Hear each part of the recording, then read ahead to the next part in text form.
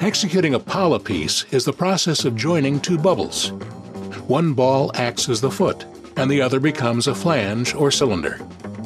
In this series, contrasting colors, usually opaque, draw attention to the different design elements. The vessels are created as pairs using horizontal and vertical shapes. A given amount of glass is gathered on the blowpipe, then shaped in a wooden block. It's chilled at the marvering table and the glass is distributed around the bubble. The glass takes shape as it is rolled on the bench and formed with a piece of wet newspaper as the assistant inflates the bubble to the correct volume. A neck is established and the spiral wrap is applied by an assistant. A lapis blue gob of glass is applied to the moil, the glass that's on the blowpipe. Both pieces are heated the sphere is inserted into the flange and then squeezed down, making the attachment. The flange is then broken off of the blowpipe. He now works the sphere and the flange. A lip wrap is applied.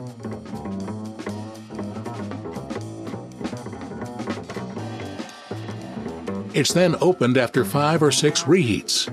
At the final reheat, it's spun open and the final form is shaped with a paddle, setting up the curve of the bowl.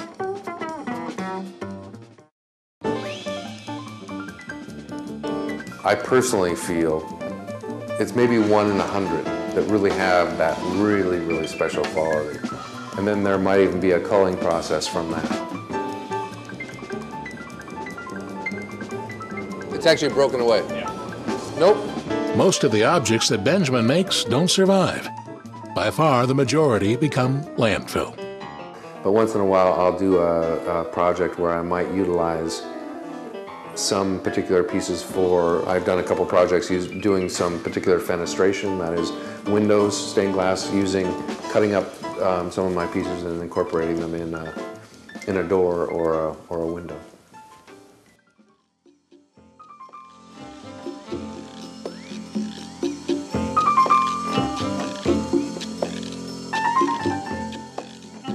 Benjamin Moore and Louis Mueller have a truly collaborative relationship. They share a similar design aesthetic and work ethic and bring to their collaborations the technical expertise in their chosen mediums of glass and metal. As a result, the metal in their installations is an integrated design element, not just a support for the glass. Over the past 15 years, they have designed and installed numerous commercial and residential projects. Most recently, they have experimented with stretching the concepts of traditional lighting fixtures. With some works, the light sources are not even integral to the installation itself.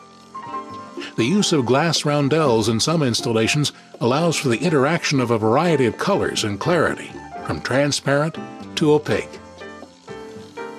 I look at things differently depending upon whether it's something that I'm personally just creating on my own whim or instinct, whereas if I'm given a particular charge for a specific commission, it's a whole nother way of looking at an object.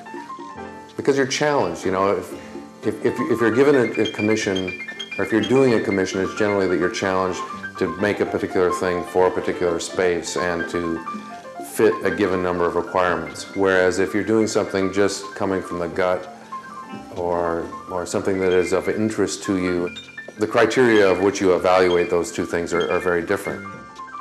The latest commission, done in collaboration with Louis Mueller, was for a home in the Seattle area. When I first worked with Louis in coming up with a particular idea for this home, I kind of just thought of it in a very kind of singular kind of way. But once the piece was installed and we actually looked at it, I was able to step back and look at it in many different ways and see many different things that I did not actually see in the actual conceptual process of developing that particular piece. When the piece was finished, there was connotations of drips of water hitting a pool and spreading out with the rods that actually supported these round discs that were hanging down. When you're standing directly underneath it looking up at it, you almost had the feeling of balloons kind of floating above your head. And then when you stood back away from it at another angle from underneath as well as when it descended, I mean, it just created all these different feelings in viewing it, which I had no idea when I was actually working out the design with Louis.